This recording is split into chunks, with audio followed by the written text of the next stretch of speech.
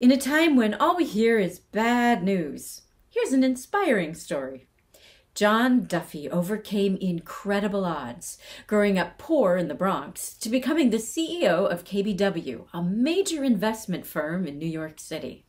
As CEO, he not only weathered but prevailed over terrible tragedies from the events of 9 11, so much so that he even gathered the attention of the President of the United States. One New Yorker understood corporate responsibilities, a fellow named John Duffy. On September the 11th, KBW had its offices in the South Tower of the World Trade Center. That day, the firm lost 67 people, including John's 23 year old son. Many thought KBW was finished, but not John Duffy. And he rebuilt his business. Last year, KBW went public, and now the firm has twice as many employees as it did on September the 11th. It says something about John Duffy that the terrorist attacks only made him more determined to succeed. I know you'll find him as fascinating as I do. Please enjoy a conversation with the amazing John Duffy. John, how are you doing? I'm doing fine today, Janice. Good to be on your podcast. Thank you so much for being here. We're thrilled to have you. Just to start off, a regular question. What would you attribute your rags to riches story? Well, I uh, I grew up in New York City in the borough of the Bronx. Uh, parents were immigrants from Ireland. One older sibling. You know, I think life started to change for me a little bit in terms of the perception of more opportunity in my high school years. I went to an all boys Catholic high school in the South Bronx and uh, did well academically. And it was a very strict environment, but it presented a lot of opportunity. And as I did well in school, I became more engaged about, you know, what what was my life going to be and what opportunities were there going to be and what kind of career was I going to have. I really didn't have what I would say a lot of um, role models or mentors that you know were relatives or you know part of the family. So I think teachers I had in high school, you know, I think one of the fellows that really made an impression on me was uh, a priest who was a world history teacher. You know, history was, you know, I didn't particularly like it or dislike it. It was just there but he basically implored upon us to read the New York Times every day, which was not kind of on our reading list at home. Uh, you know, given the you know social strata, and it's certainly not viewed as kind of a blue collar paper. But you know, he took time, explained to us, you know, how big the world was, what was going on in the world currently, tried to get us to relate to some of that. And if I had to pick, you know, like one moment in high school where maybe the light went on a little bit, he uh, showed us the stock pages in the business section. It was a whole lot of numbers. I didn't have an idea of what any of them meant, but they looked a little bit like, you know, baseball batting averages or something, which I was more, much more familiar with and I always kind of felt like I was pretty good in math and stuff like that. And he struck a curiosity note in me. That was where I started to think about what business was and, you know, what kind of career opportunities there might be there. I think that was a real eye opener for me. I would have been probably 16 years old, junior year of high school. Well, I think I re- remember you telling me that uh, you were like 11. Your dad had left home, and so you yes. had to go out and get a job. So you were familiar with the work environment. I was. I got kind of thrown into that a little earlier than uh, normal. What was your first uh, job? First job was uh, a paper route. I did that for two years, and then I got a job in the New York Public Library, uh, following in my sister's footsteps. She helped me get that job and that probably opened my horizons a little bit on literature. You know, you had to know when you looked at a book where to put it on the shelf, whether it was, you know, history or a novel or biography, and they had the Dewey Decimal System or something. So, you know, I learned all that. Did that for two years. Then junior year of high school, I broke my shoulder, got a scholarship. I didn't have to work. That was my year, you know, one year off in uh, 55 years. Uh, and then went to work for in supermarkets for a couple of years, and then uh, during college, three years, I drove a cab in New York City. Wow. Which is an interesting experience. All of those jobs, obviously, you're dealing with the public. I think it helped me develop maybe some people skills because I was dealing with adults, you know, at a fairly young age and kind of figure out how to behave and maybe how to think on your feet a little bit. And certainly accept some responsibility, you know, at a pretty young age. So I think there were benefits to all those jobs. I didn't want to have a career in any of them, but right. you know, I, looking back, or you know, as I grew up, I think you know there was some besides the paycheck, which was very important. I, you know, I think there was benefit. Sometimes you do something and you're like, nope, that's not what I want to do for the rest of my life, and um, you know, there's a benefit to that rather than making that decision, you know, when you're out of college or something. Hard work, definitely. So that that would be something you might attribute some of your success to as well. Yep, well, I know George Bush mentioned you in one of his speeches about being a cab driver to being the CEO of one of the largest investment firms. That's quite a journey. Now, what year did you enter college then? 1967. 19- so there's a lot going on. Well, first of all, it was the Kennedy assassination my freshman year in high school. I got out of high school in 67. So I remember that day. You know, and then 68, you know, when I'm in college, his brother Robert is assassinated in between that, we had Martin Luther King. Initial race riots, at least in my consciousness, in New York were in 1965. There were nights that looked a lot like what we've seen happen around the country in the last month. Unfortunately, you know, this is, you know, 50 plus years later and, and a lot looks the same. But there was so much change, and I, at least in my world as a teenager, you know, we had the we had the Beatles show up in late 63 or 64. Felt like music was going through, you know, revolution. Yeah, it definitely was. Yeah. So there was uh, there was a lot going on, a lot to process. I got out of high school in 67, went to City College in New York, went into the engineering program, did not do very well academically my first two semesters, and uh, kind of led me to. I think I went from a very disciplined, structured environment in high school where you almost couldn't screw up or you weren't allowed to goof off into a completely free form environment where if you didn't go to class, teacher never cared and I missed some classes, and my grades reflected it. I was working also and trying to decide what I wanted to do for my life. So there were there were certainly plenty of distractions. In the freshman year, I decided I needed to change majors and went into the liberal arts program at City College and wound up majoring in economics. So that was kind of your wake up call. Yeah, freshman year in college, uh, you know, I had some friends. The Vietnam War was raging, um, I had a close friend I had made at, at freshman year of college, and he'd kind of decided it wasn't what he expected, and he was looking for a change, and he I decided to join the Air Force. I wasn't sure that's what I was looking to do was fly around to the other side of the world and you know fight in a war that was becoming increasingly unpopular. So there was a lot going on you know, uh, my mom at that point was a single parent. She was working two jobs. My sister had gotten married and she was out of the house. So I was kind of, I don't want to say I was by myself. I was living with my mother, but it was on me to kind of figure this out. I didn't, I didn't have a lot of direction or typical parental supervision. Right. Uh, you know, my mom, when I would go out at night, my mom would just tell me, don't get arrested that stays on your record. so like anything, anything short of getting arrested wasn't going to upset her too much, which you know didn't lead to me coming home very early on a Friday or Saturday night. I but, can imagine. Um, a lot of kids I, would end that. Enjoying life as a young adult.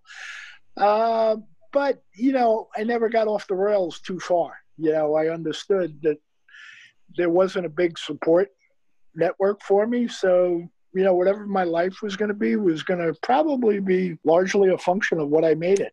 And I, I got very fortunate in my first 10 years out of college where I just got presented some, in, in retrospect, they were incredible opportunities. I kind of said yes to each of them.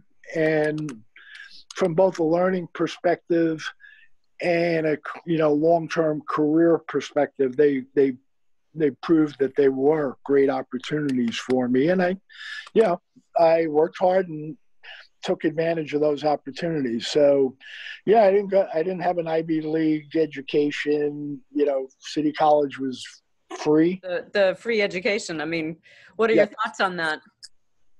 Um, you you know, typical tuition for a decent school back then was about fifteen hundred dollars a year. Uh, people from my neighborhood, if they went to college, they they were going to college in New York. You know, they weren't flying around the country. Just wasn't you know it wasn't part of our world. An occasional one might go to you know a college in Boston or Washington D.C., but that was about as far as any of my classmates from high school would have gone. Uh, and they were the rare ones. Most of them, I would say, even in you know the the honors classes, probably ninety percent of them went to college in the New York metropolitan area. So City College was a great opportunity, and I'd love to see more students today have that kind of opportunity of a free education if their circumstances require it, uh, because it was certainly a game changer for me Yeah. you know i i would have went to college but you know would i have graduated in four and a half years? I frankly doubt it because i think i would have been working a lot um, and who knows you know how long that would have taken. And ccny was very competitive academic environment. And again um, you had to push yourself. There weren't teachers or you know uh, pushing you necessarily but they assumed you wanted to be there and they they were great teachers and i got a great education and it cost me zero dollars. So i really feel for these students who've come out of school in the last 15 to 20 years and are burdened with student debt. Just you know i bought my first house six or seven years after i graduated from college. I had no debt.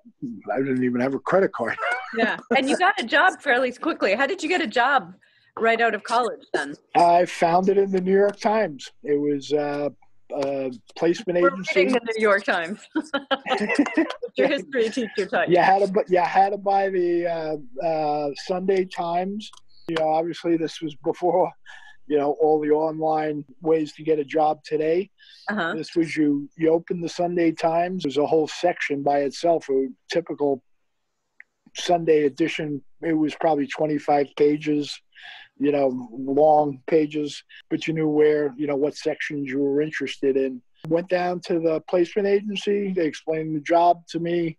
Thought I had maybe the qualifications, and then told me the company was Standard and Poor's, and I needed to go take a test. I had good business courses, and I thought I was probably pretty well prepared.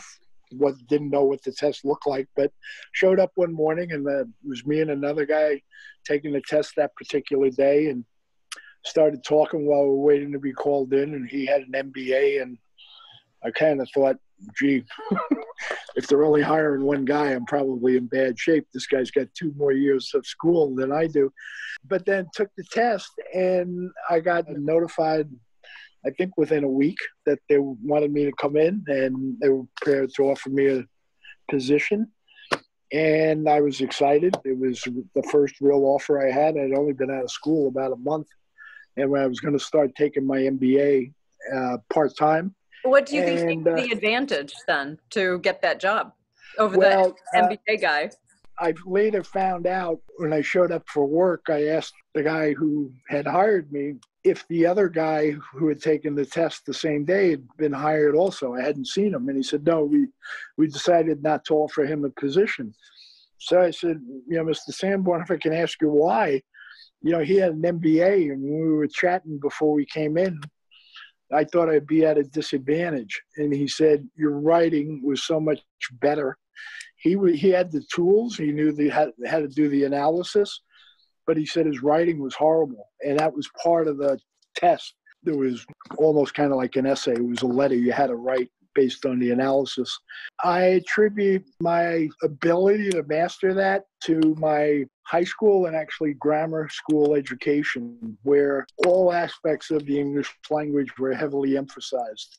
Huh. So while you know I never contemplated a career as a writer, I knew you know what the three different twos meant, Right. and you know homonyms and antonyms and everything, and no dangling participles, and you know don't finish this you know sentence with a you know a preposition. So I guess they thought I was a pretty good writer and enough of the analytical skills to qualify also and that that was uh, that was a great start to my career. And then I was still at Standard and Poor's two and a half years later when they asked me to switch departments. And instead of being a stock analyst, I became a credit analyst and did that for about four and a half years. And it really ra- rounded out my analytical skills. And at that point, I joined the small brokerage firm. At that point, 1978, that was Keefe Bruyette and Woods, and I stayed there for 40 years. As I like to joke, I couldn't find another job. So just backing up real quickly, what what was your major in college then? Economics, Economics. but I had taken courses at Baruch, which was a sister school to CCNY, and that was totally business. So if you wanted more finance courses or accounting courses, took a couple of accounting courses at Baruch, because as I got into economics, I realized I really wanted to have a career in business or Wall Street, and you know, accounting and stuff like that would be helpful. So I took those. So I had that when, and I think some of that probably helped me get the job also. That I had a, economics can be a little theoretical, but my major was economics. But I, I had a lot of business courses, finance, accounting, stuff like that as an undergrad.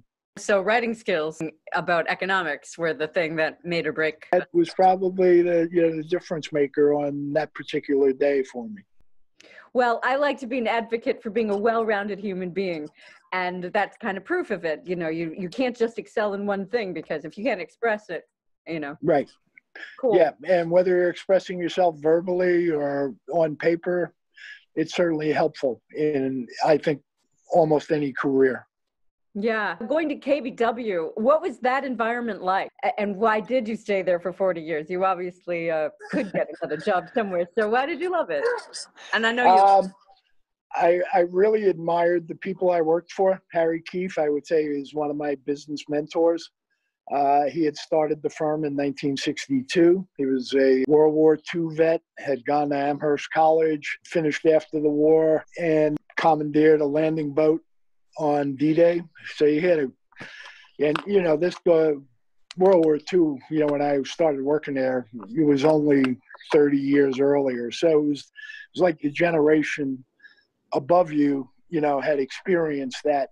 He had started this firm with two other folks. It was about 50 people. It was about 15 years old when I joined the firm. Had about 50 people. Uh, they had already carved themselves out as being, you know, a, a quality research firm. Had, at S&P, I had a little dealing with them, and I got to know one of the senior people, a guy by the name of Mike Connor, who, after a couple meetings we had had, where he had a client in trying to get a rating at S&P, I, he was impressed with my work and approached me one day about whether I'd be interested in joining the firm. And I was at S&P six and a half years and invaluable experience, and I owe them a lot in terms of the opportunities they gave me. But I had started to feel that the, the S Standard and Poor's was owned by McGraw Hill, you know, a very large, you know, company in the book world, and I kind of felt a large career opportunity at S&P might lead to McGraw Hill, and that was pulling me away from Wall Street. And with six and a half years of dealing with Wall Street, I had really decided that's where I saw my career going. Rather than being kind of tangential to it, I really wanted to work for a firm on Wall Street.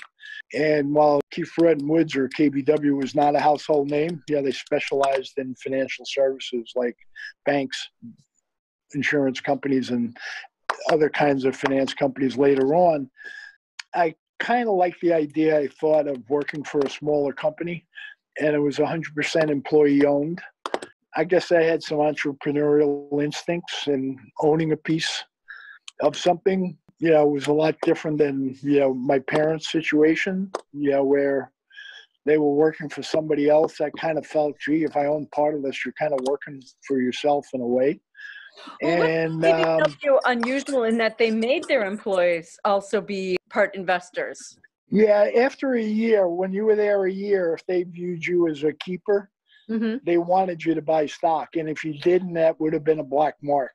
But it attracted people who wanted that because there were partnerships that were much bigger than KBW on the street. So that practice existed. Okay. There were very few. The first brokerage company that went public, I believe, was Donaldson Lufkin and Jenrette, DLJ.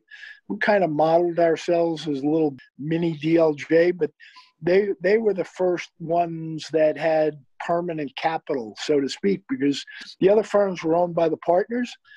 And when you retired, you know, you kind of got your capital out one way or another out of the firm, and the younger guys would have an opportunity to, you know, to buy in. So it was just the model that sounded very appealing to me. The appeal of owning a piece of something struck a chord with me. Did you have like an event or something that that inspired you to? Oh, I'd really like to work on Wall Street instead of sitting and analyzing. Well, I, I got my first breaks uh, my last year of college in a statistics course where a teacher came in, Professor Firestone, and said, former student of mine is looking for a part-time helper. He's an economist, works for a subsidiary Merrill Lynch. If anybody's interested, see me after class. I was driving a cab at that point. I went up to Professor Firestone and I'm like, you know, do you have any idea what it pays? And he said, nope.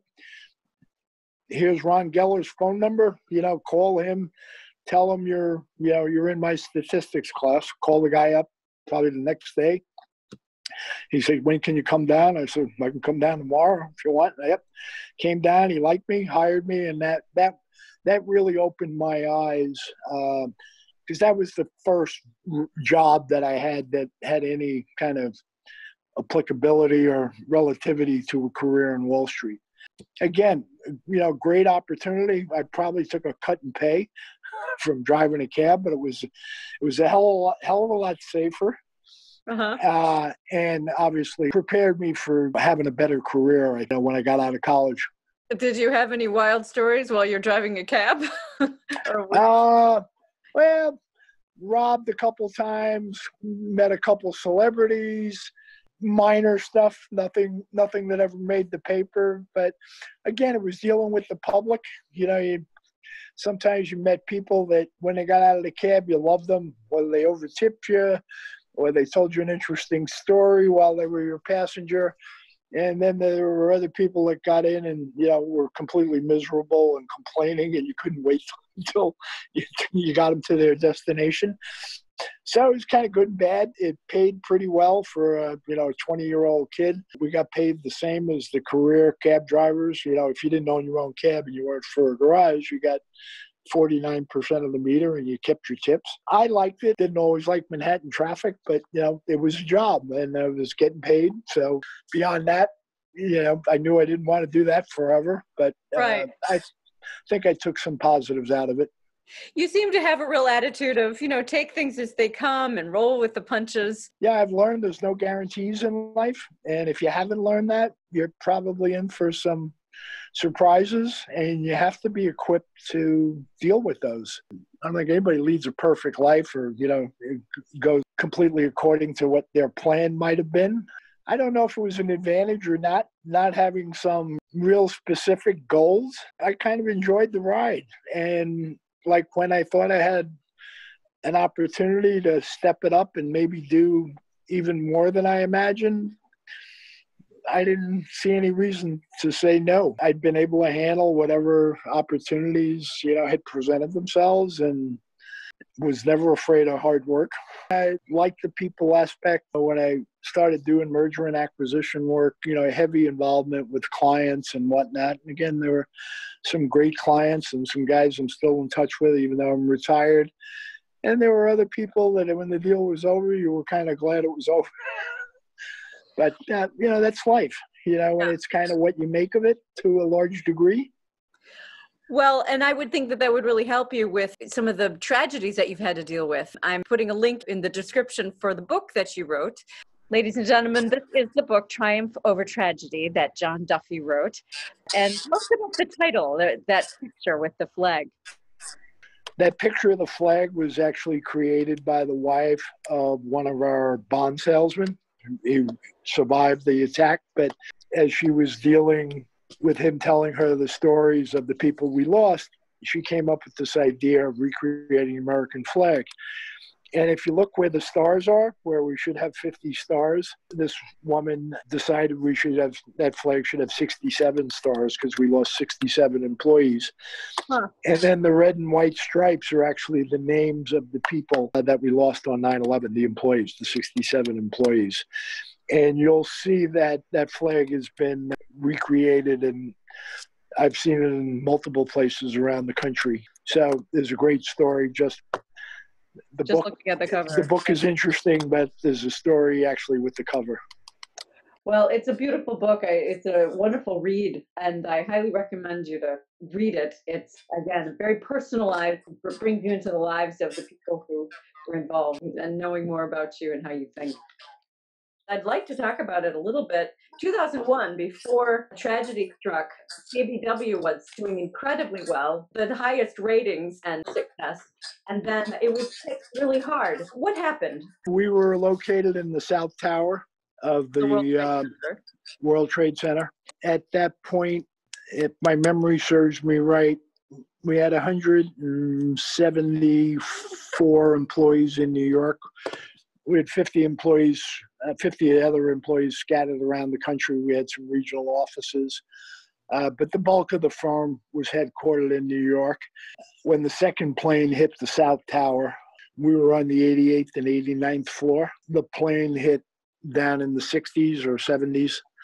And if you were above where the plane struck, you were basically trapped. Now, the second plane hit about 15 minutes after the first plane had hit the North Tower. Uh-huh. So we did have some employees leave the building when the first tower had been hit, but they didn't know what had happened. It had hit the other side. We could see the North Tower from our offices, but the plane struck the other side of the building. So there were all sorts of rumors and you know stories. Uh, they felt the building shake. They thought a transformer or something had blown up. It took you probably five minutes to get out of your office down to the ground floor because you had to take two elevators. So if you didn't leave in the first 10 minutes, you were probably going to be trapped. And we lost 67 employees. Uh, and that also included a personal, uh, tell us about that as well. Yeah. Uh, my second son, Christopher, had graduated from Villanova in 2000. And he had interned one summer with us and on the trading desk and the traders really liked them and we were growing and and they were interested in hiring him. I wasn't sure whether that was a great move on his part you know being the boss's child has some definite pros but can also have some negatives in terms of perceived favoritism and whatnot. But christopher joined uh, the firm upon graduation so he'd been working there about 13 or 14 months. Traders and the research people and the salesmen are the first people that come in at a Wall Street firm. Market opens at 9:30. Most of those people are at their desk by 7:30. You know, the plane hit right around nine o'clock. The bulk of the people that we lost were in those three departments, either the research department or the sales and trading people on the desk. A day, you know, I'll never forget. Clearly, the saddest day of my life um, and, you know, besides losing one of my children, you know, I lost a lot of people, you know, several of whom I had worked with for 15 or 20 years, knew their families, you know, knew their wives or husbands, knew their children. So, you know, even as we started to rebuild the firm, there were, you know, there were constant reminders. We're trying to help the families who lost their primary breadwinner get through this.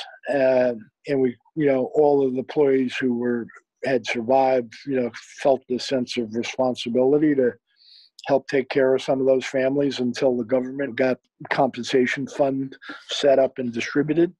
You know, very very difficult time uh, personally, um, emotionally, but as we started to regroup after a couple of weeks, I, I didn't go to work for two weeks. The market was closed for four days after the attacks and took another week and we had a we had a service for Christopher and then eventually decided to go back and actually going back to help rebuild the firm I felt was cathartic. It had some I had something to do. Mm-hmm. I viewed it as something very positive because I kind of felt if we get the firm rebuilt, we could help these families financially. And that was important because, you know, a lot of these were young mothers. Some cases were pregnant with their first child. Some of them had one, two, three kids. One mother actually had five children and lost her husband. And you know, we tried to go to the services and whatnot. So the first first two to three months was really difficult. You just felt emotionally drained. Mm-hmm. Uh, there was a lot to do to try to rebuild the farm, but then, like a part-time job was was going to see these families, you know, at memorial services and meeting with them and listening to them in terms of what their needs were. So, very difficult, uh, yeah, day or period to get through. Um, but we all bonded together, and it really uh, I think there was a commonality of interest in terms of, you know, we're going to do this, and then we were fortunate and recruited some great people that wanted to be part of the rebuild. Said you guys had a great reputation. I, you know, I want to work there. I want to be one of the people that helps you rebuild this, and we got it. We got it done. And five years later, we had rebuilt the firm, had gone to London, and we wound up going public ourselves in 2006. Wow. Well, I know uh, President George Bush uh, made a speech in 2007 talking about outstanding people who had done something to rebuild, and he mentioned you specifically. Just the spirit of rebuilding. He he quoted you because you know people questioned you like they want to give up at this point, and you had said no because that lets the enemy win or something like that. Was what was your mentality at the time? I'm trying to remember how many board members we actually had when 9 11 hit. I think we had 11. And I think we lost seven of the board members. So there was a remaining four people. And then we were, we were still employee owned.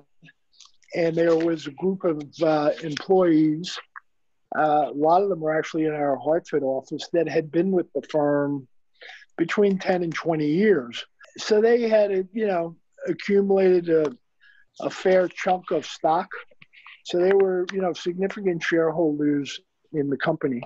We had considered before 9 11 uh, selling the company. We'd been approached by a foreign bank. The deal wasn't done, but it was still on track. And then obviously, when 9 11 happened, the deal was off the table. And we had a dinner.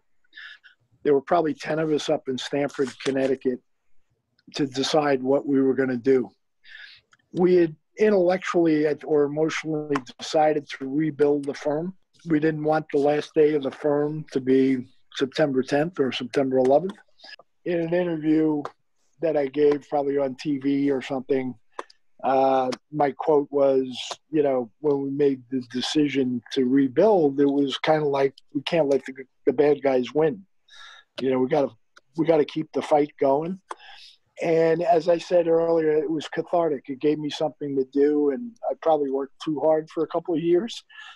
And was on a mission, and a lot of my colleagues were too. Pretty much all of us stayed together.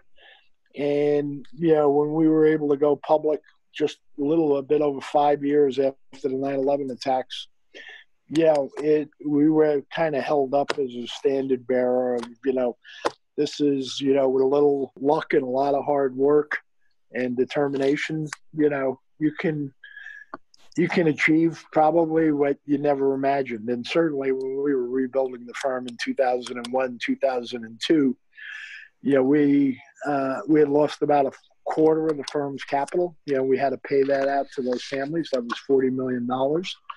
Fortunately, we had, we had more than enough capital to start the rebuild. And as I said, five years later, we're going public, which, you know, in any industry is kind of viewed as a standard of success. What does that mean in terms of how you had built yourself up? I mean, just to compare from before. Well, first of all, we were a lot larger. As I said, we decided to expand into Europe in 2004. So we had a London office and we were following banks on the continent. We had a lot more employees. We had a lot more revenue. You know, and the joke I used to make around that time was after 9 11, we were in this constant hiring mode for about six months because we had basically 67 positions to fill. Hmm. And when we got there, we forgot to stop. it was like we just kept hiring people and growing. And there was, you know, there was a mentality, you know, a lot of senior people came in. And if they had an idea, it was, and it was going to generate revenue, you know, they pretty much got a green light from us. Hmm. Uh, because you know we had a lot of lot of rebuilding to do, and it didn't have to look exactly like it had looked before. Mm-hmm. Uh, and I think generally the employees thought it was a great place to work. Hmm. You know, we had we had a brand name. We were giving them a lot of opportunity. It, in the early months or so, some of them later reflected to me that it was a little bit like walking on eggshells for the first month or two because they knew, in a lot of cases, the people that filled the position had known the person at KBW had died. Whether it was a trader coming from another firm who had dealt with the KBW trader, whether it was another research analyst from a different firm, he knew the person from KBW. And they, you know, they kind of felt, you know, like, you know, I don't know if the, you know, the people who survived are going to embrace us because they're thinking about the friend they lost. But, you know, we were too busy to be bothered with any of that stuff. It was kind of like we got to rebuild this place, and if you're going to help us, great. Once I think some of the employees got over that, that there you know there wasn't this stigma attached that they were a new employee as opposed to a prior you know old employee you really embraced it and we, we had a nice run then the crash came in 08 changed things a little bit but again we survived that i stepped down as ceo in the fall of 2011. And a little bit more than a year later, we merged with a firm out of St. Louis called Stifel Financial, Stifel and Company. And we still have the brand name. We're one of their, you know, wholly owned subsidiaries. Merger went very well. So while I'm retired, the, you know, the firm continues to live on. The ownership structure is obviously different, but I think it's still a great place to work. Still known for their expertise in the financial sector. So again, you know, I couldn't have possibly imagined any of that stuff back in 1978. Yeah, I was just looking to have a kind of a productive, rewarding career, but you know, it turned out to be quite eventful. Well, to be the leader of the organization, especially in such hardship, what would you say are some of the mentors, whether you knew them or not, like larger than life people who have influenced your idea of leadership?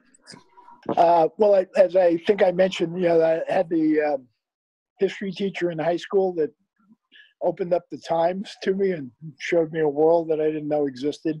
Uh-huh. Harry Keefe uh, was definitely one of my business mentors, and the fellow who hired me and I worked for uh, in the early years, Michael Connor.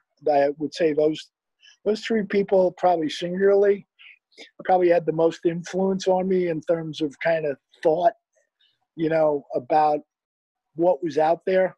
Mm-hmm. You know, some of my early bosses at S&P, Steve Sanborn, guy hired me, obviously a game changer. You know, I went from a kid with a college degree and no job to, you know, a kid who had a job on Wall Street or closely related to Wall Street. Right. And then, you know, the, the, the head of the fixed income department, Russ Frazier, was another guy that clearly had an influence on me. You know, uh, when I was, I said, I mentioned, I think earlier, I worked two years in the public library. Mm-hmm. I've never been a voracious uh, reader, but early in high school, I, I decided I kind of liked reading biographies or autobiographies, and there uh-huh. are there are three that I probably mentioned to you that you know, looking back, I still remember reading the book and thinking about the individual that the book was written about a lot in terms of what their lives were like and I wouldn't say I followed any of them in terms of trying to be like them. Right. But how they dealt with the situations that they were dealt with and how they became famous or well known First guy was Jackie Robinson. He was the first African American uh, Major League Baseball player. And my father was a Brooklyn Dodger fan. Jackie Robinson in the early 50s was kind of held up on a high standard. He had broken the color barrier in baseball.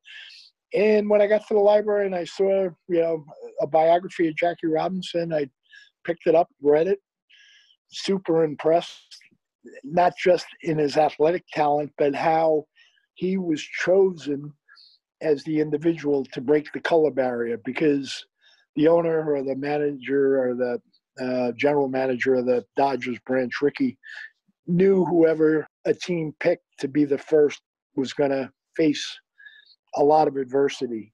I think Jackie Robinson, besides being a great ball player, was picked because they viewed his temperament as being able to have a better chance of handling the situations that he was likely to face. So he was a he was a pretty unusual back in those days. He was a college graduate. He had played uh, football at UCLA, so he was you know multi-talented sport-wise, but had gotten a college education, and I think Branch Rickey thought that was important in terms of having somebody mature that was going to be able to handle some of the situations, racial discrimination that he was going to face. Uh, so that was the first one, and I probably read it because he was a sports figure, you know. But it raised my consciousness certainly on the racial issues, and then in college, my sister had read something about Gandhi. This was during, you know, the initial kind of racial uprising or whatever you want to call it, demonstrations in the 60s. And I read a biography of Gandhi and his whole thing of, of nonviolent demonstration. And I think the famous kind of description of Gandhi was the, you know, the little man in the loincloth who brought down the British Empire and and reading that um, and you know the famous march to the sea and the revolt of the salt tax and you know how this country that I still haven't been to could have achieved what it achieved in terms of independence. Uh, you know, there were lives lost, but you know, it was nothing that Gandhi was you know promoting. Uh-huh. uh, i found it to be a truly remarkable story. I think it's had some effect on my thoughts about resolving conflicts you know whether you're talking about you know political conflicts or personal conflicts. Violence usually doesn't achieve too much. Uh, so it clear that his story clearly had an impact on how i view life and then the third one was probably right around I was finishing college, and CCNY was located in Harlem. My senior year, there was a lot of demonstration about changing the admission policies at the City University. I think it was actually in a sociology course I took that the teacher recommended reading the autobiography of Malcolm X. Hmm. And my perception of Malcolm X had been that he was pretty far out on the curve yeah. And I really wasn't sure that I was going to read the book, but I picked it up and read it. And it, it was an autobiography. It was so well written in terms of his describing his emotions and feelings and the life he had gone through early in his life.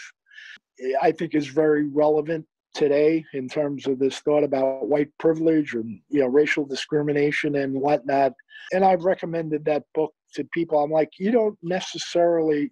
I'm not saying you're going to agree with his philosophy, and you know, clearly there were problems with the Islam thing, which actually led to his assassination. But if you read the first half of the book in terms of kind of the life he had and how he he got himself turned around, I thought was hugely inspirational. You know, he wound up, he was probably assassinated, would have been right around the time, I guess, I was getting out of high school. It was before I went in CCNY. So I probably read, you know, the autobiography five or more years after it was published. But he was assassinated in the Audubon Ballroom, which was literally 15 blocks from the CCNY campus. So yeah, I used to get off the train at 145th Street and walk to the campus. Uh, every day I was walking through the neighborhood, you know, where he had lived part of his life. It's a long time since I read those three books, but I remember a lot of them, and I certainly remember how they, I think, changed my thinking about you know the society that we live in. Well, you know, especially like the stereotype of a Wall Street kind of guy. You, you think of this kind of, you know, self-absorbed. You know, doesn't help anybody else, just greedy. You know, I mean, that's a, a stereotype, and there are yes. those that are like that. They get into all kinds of drugs. They get into all kinds of lifestyle problems because, like, it's too intense for them. Would you say that their influence on you kept you more just on a balanced lifestyle or way of thinking? Yeah, I think growing up in the South Bronx, and I've stayed involved with my high school, which is 98% minority, Hispanic or African American. And it was not those percentages when I went, it was probably 15 to 20% minority. So, the, you know, demographics certainly changed when I was in high school. It was largely Italian, Irish, and everything else. And today it's Hispanic and, and African American. Yeah, I've never lived in the first 70 years of my life, I never lived more than 25 miles from where I was born. Hmm.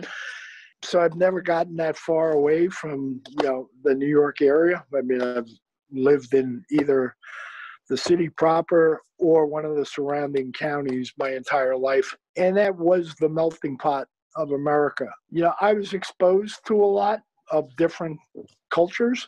I had a strong Irish heritage in my family because my parents were born there. But that got diluted as you went to something other than the neighborhood school. You know, when you when I went to high school, it was a lot of Italian, a lot of Irish, and and a lot of everything else. CCNY was very heavy. Probably half the student body was Jewish, so different religion. So you know, I think kind of growing up in being exposed in a very mixed environment probably made me more tolerant of other people's you know situation or culture they weren't necessarily what i grew up in for the first 15 years but you know different doesn't mean worse You've been more than uh, tolerant. You've been, in fact, very generous. You've got a, a big philanthropic um, effort that you've given to a lot of different people. I know my own career has benefited from your help and helping me to launch my show in Branson and projects that I've been doing, which I publicly am here thanking you very much. Yeah. And I'm very excited about the opportunities that I couldn't have done without your help and I know you've influenced a lot of students. You've been giving to that high school, you give to colleges, you're on boards of all kinds of educational things. Yeah. Maybe you can also tell us a little bit more about some of these people that you've affected. Yeah, my passion is education because I really felt the opportunity that I got in high school and college was a game changer. I would regard myself as bright, but I was in high school and college with people that had higher GPAs or averages and IQs.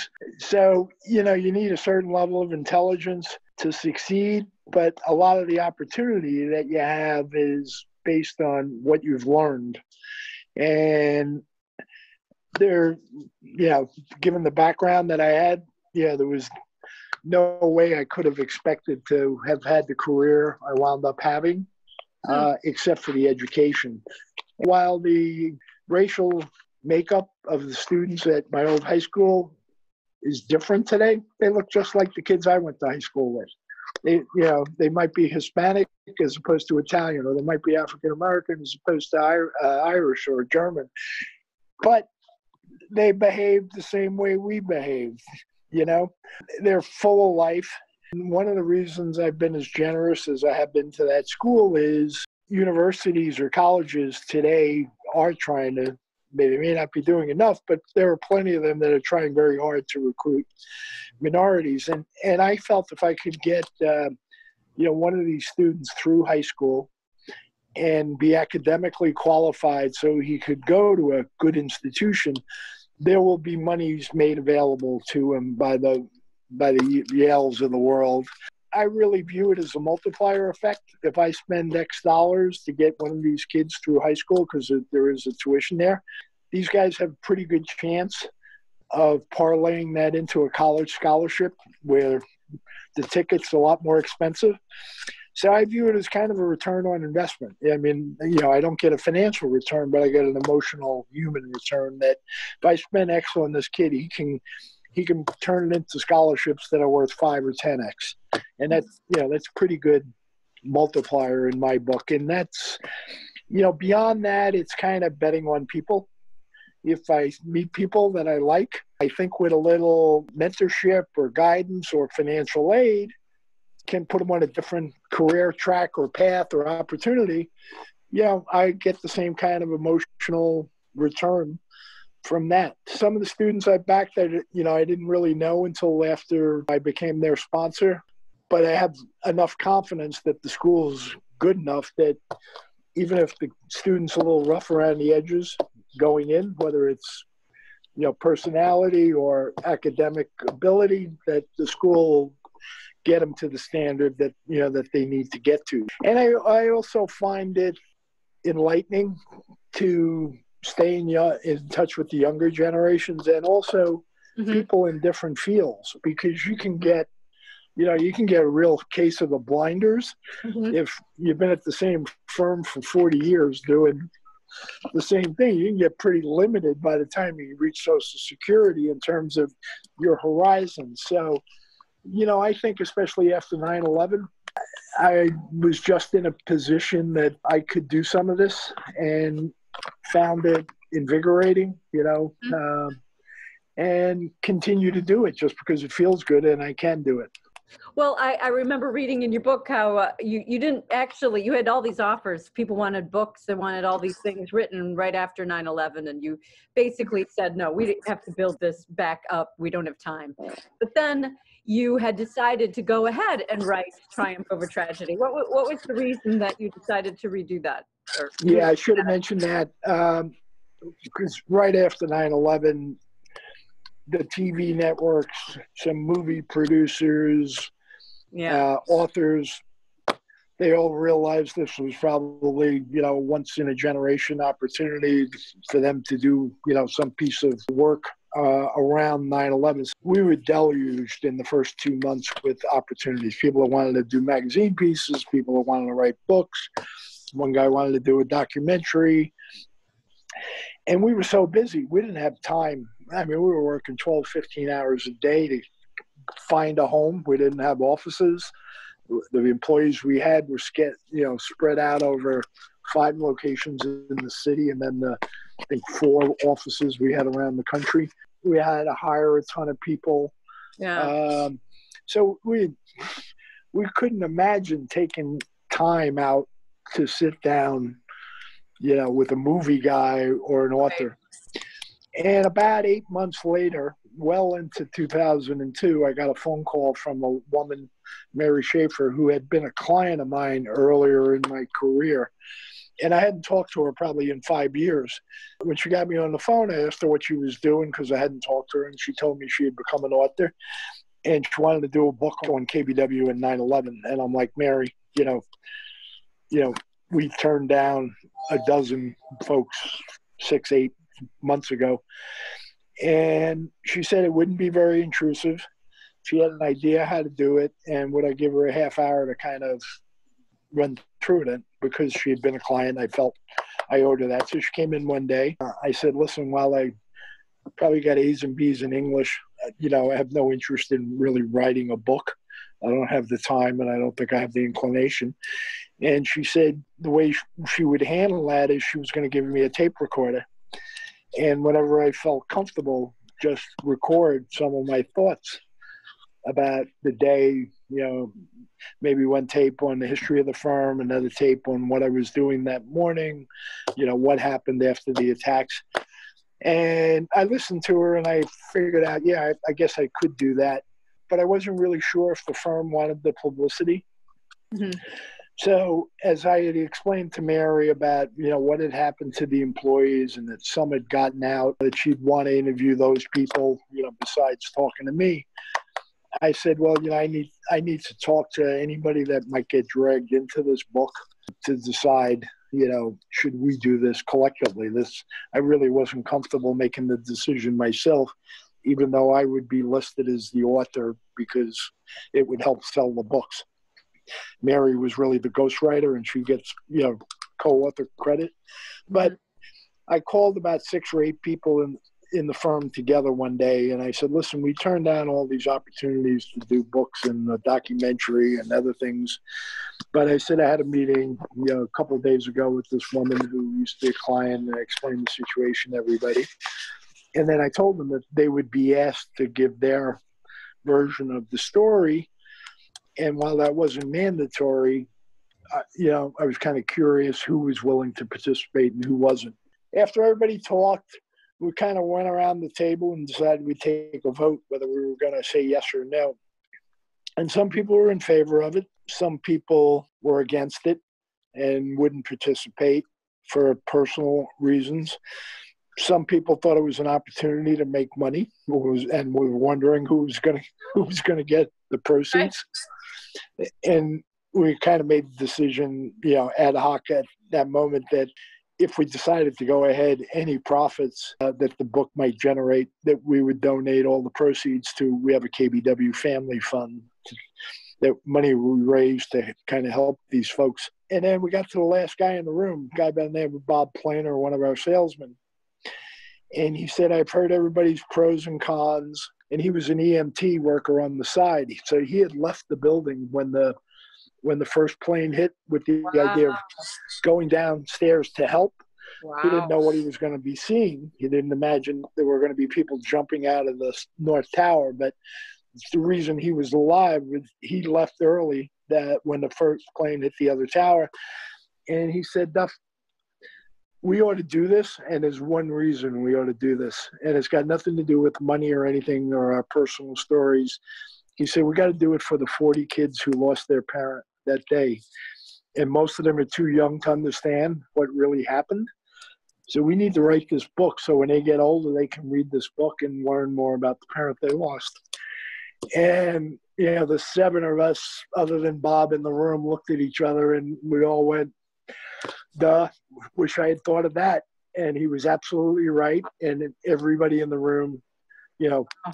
agreed to go forward.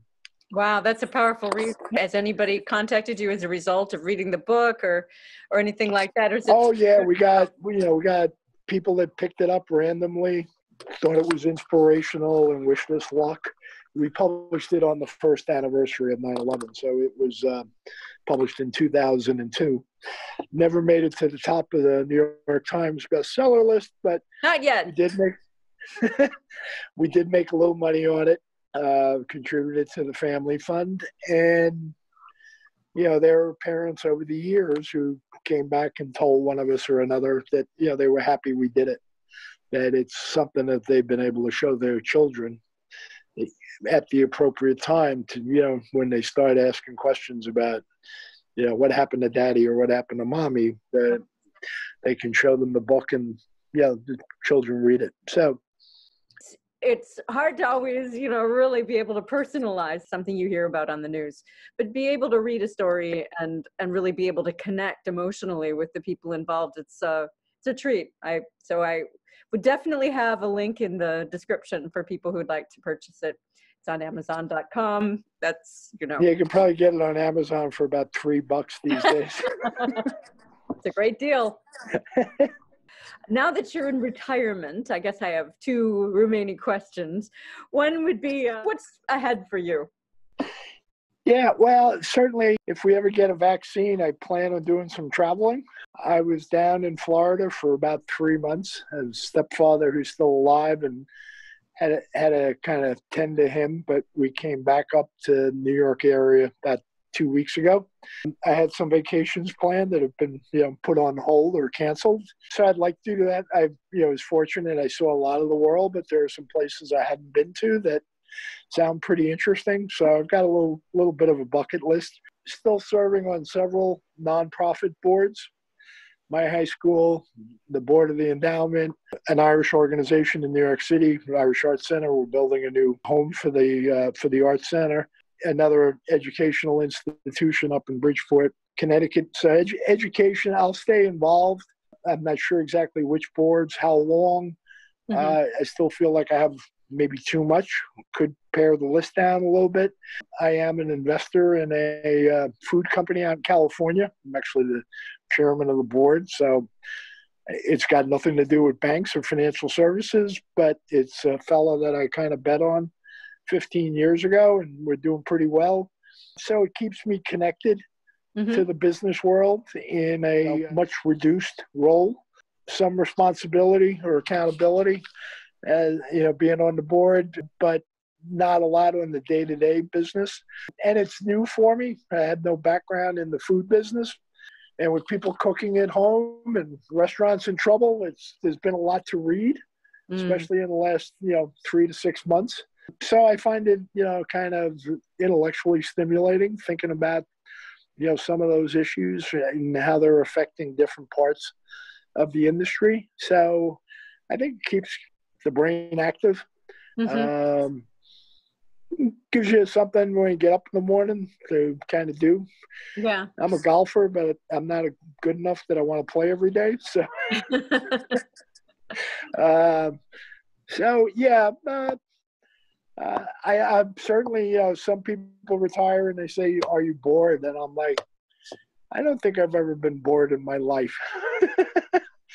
maybe a couple of you know evenings you know early on in the virus when i wasn't a netflix subscriber in florida yeah no sports to watch and you kind of got tired of either listening to the president or if you're leaning another way listening to andrew cuomo you know after you kind of learned a little bit about the virus you know you don't want to listen to it every night but I've I've usually had enough on my plate to keep me busy. You know, I've got four kids. I've got seven grandkids. Uh, there's there always seems to be somebody to FaceTime to or text, and um, I'm blessed in that fashion. Well, I guess so. My final question, which can uh, have several different branches, but it's really about um, you know we're going through tough times.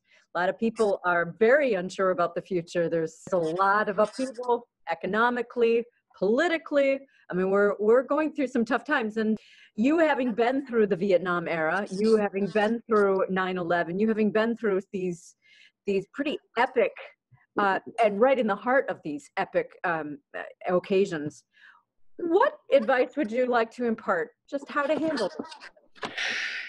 I think it's an excellent question, Janice, and I'm not sure anybody has the perfect answer because while I've lived through some things that you know may make it into the history books.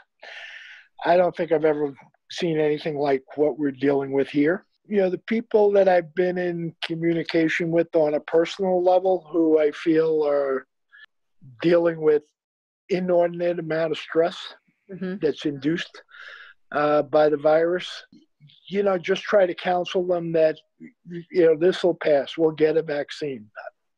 I don't know when.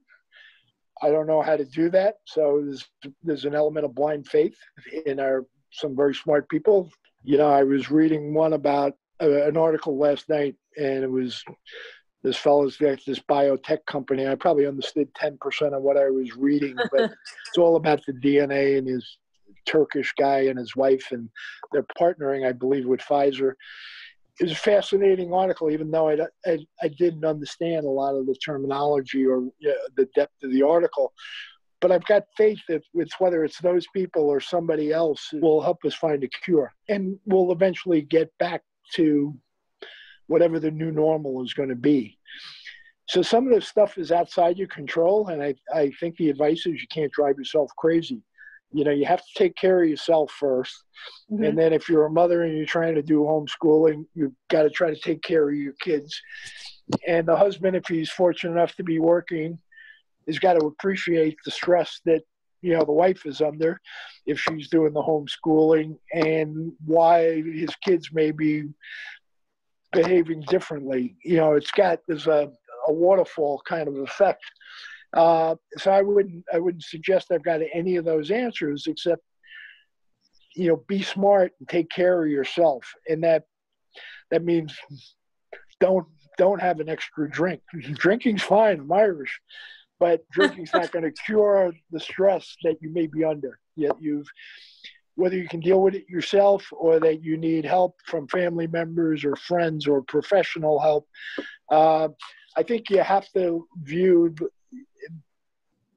things optimistically that this is not going to be the case, you know, status quo uh, forever. But you know, listen to the medical professionals. I have an enormous respect for that Dr. Fauci. He, a first of all, he's the New Yorker. Secondly, of all, he went to a Catholic high school in New York. So he's older than me, but and he's smarter than me. But I'll I'll follow his advice. And if he uh, thinks masks work, you know, I was a little uncomfortable putting a mask on. You know, the first couple of days. Right. But I was uncomfortable when somebody convinced me to wear a seatbelt, and now I do it point. automatically. Good point. And how long does it take? You know, the signs on the, the Garden State Parkway say, you know, three three seconds to buckle up can add years to your life. Well, yeah. you know, the three seconds it takes to put a mask on may add years to your life. So why wouldn't you do that? Yeah. And you know, now that you know, I was in Florida until about two weeks ago, and now Florida's numbers are huge. And the biggest age group I understand from reading, I think it's accurate, are you know the young adults, kind of 25 to 40. Mm-hmm. It's like you know your world is not going to end if you don't go to the bar Friday night.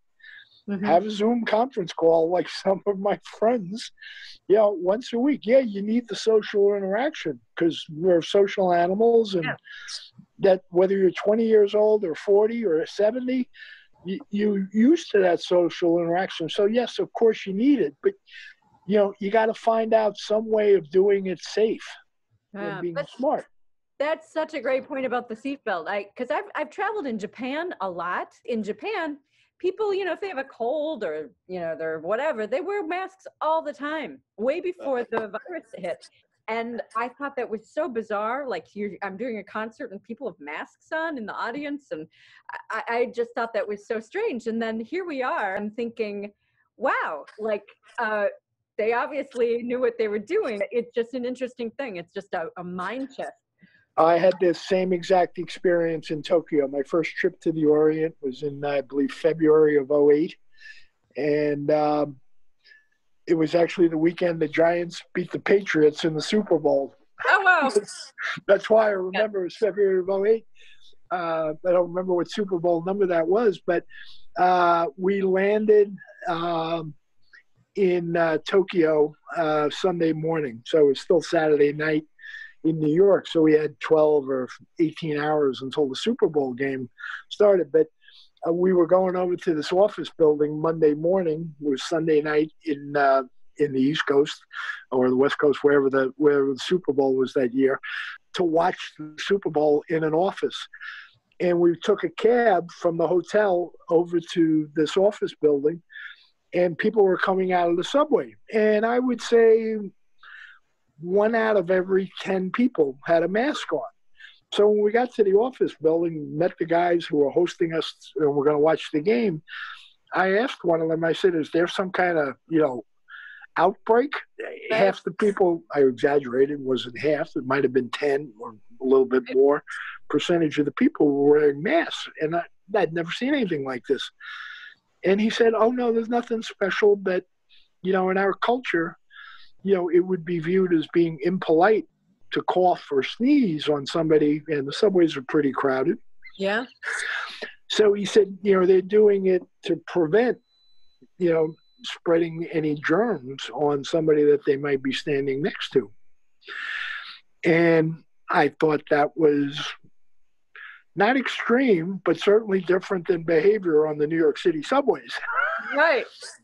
and then you know, when the virus hit here and they started talking about masks, and you know, Taiwan, especially, and I, I believe South Korea initially, and I think also Japan, you know, did a pretty good job of minimizing, you know, the you know multiplier effect and and it turning into being a lot worse than it might have been because they're used to this. It's part of their culture. Well it's not part of our culture to walk around wearing a mask but if your health depends upon it it probably should be part of your culture at least for whether it's three weeks or three months or however. Yeah. I did some food shopping this morning and it's not required, but I'm like, um, I don't want to give it to somebody else. I don't think I have it, but so many people are asymptomatic. And it may help prevent me from getting it from somebody else. And the cashiers now have these plexiglass barriers. So things are different. Doesn't mean they're worse. No. It means, you, you know, you got to do something. Your behavior's got to change a little bit if you want to protect your health and the health of others. Yeah. Well, again, you seem to go with the flow. I'm not that good looking, so putting a mask up on me, you know, there's no negative impact.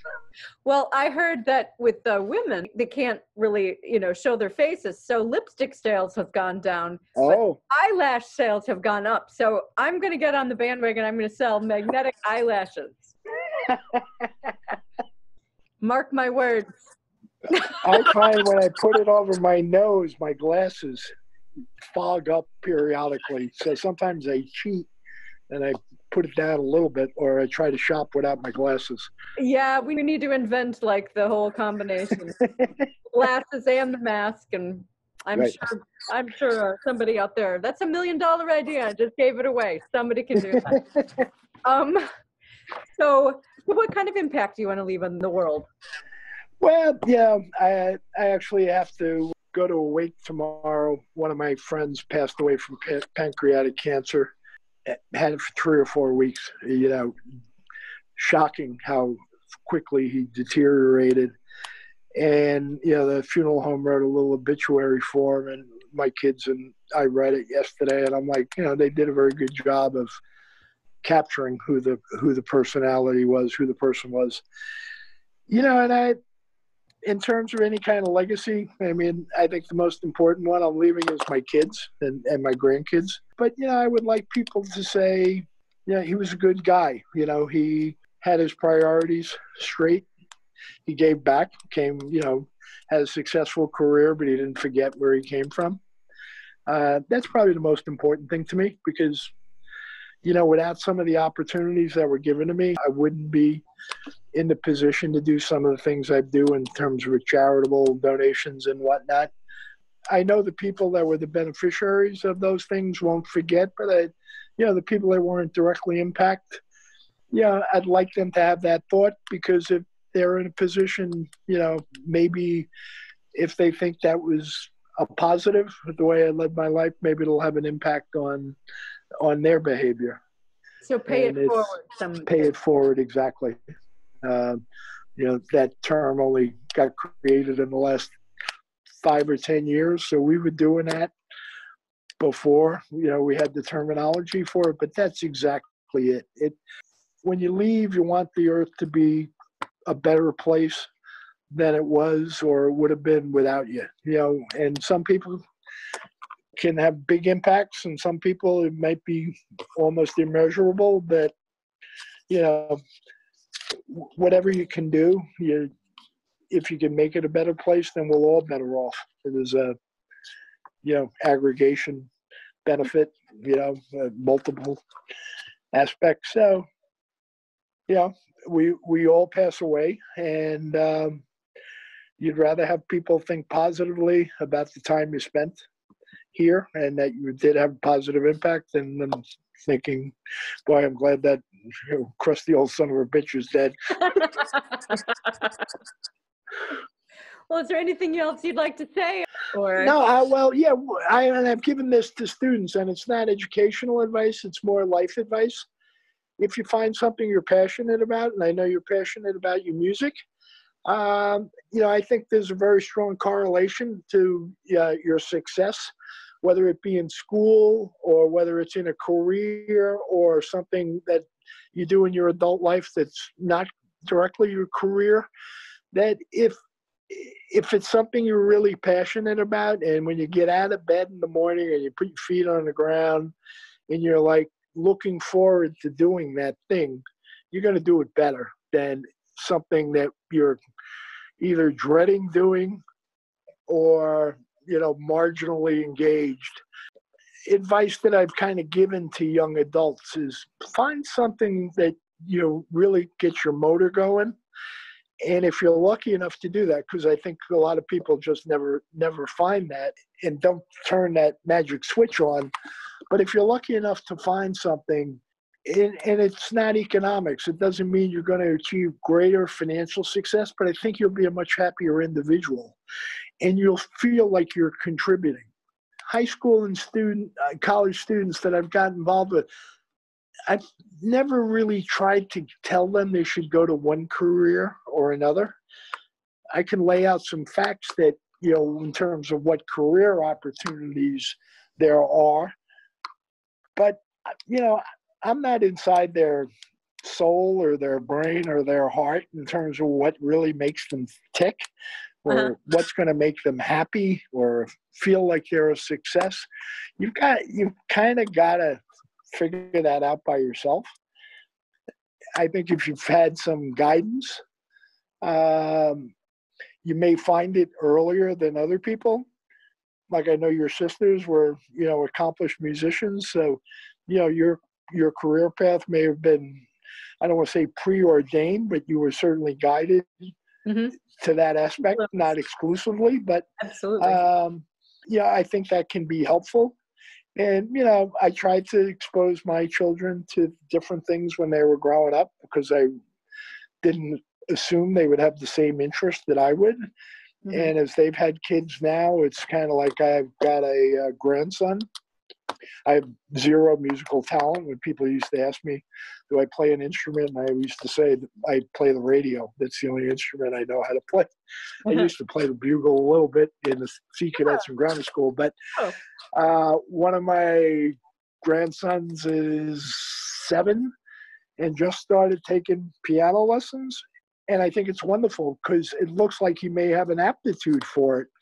I tried to you know, expose my children to that. But you know, the musical talent may have skipped a generation, or may it may be brand new with this one.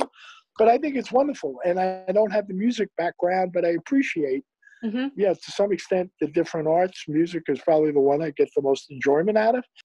And I think it's wonderful. I mean, I hope he kind of sticks with it. And when we have family gatherings, you know, Finn can get on the piano and entertain us. I mean, what what could be more enjoyable than that? And how many grandkids do you have now?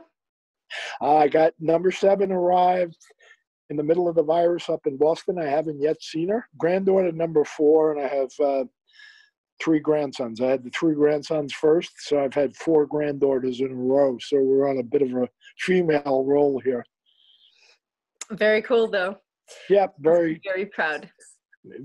Very exciting and satisfying, and can't wait to see Winnie. She's the new one. Well, John, thank you so very, very much. Thank you so much for taking this time to talk to all of us and for all the many, many contributions you have made.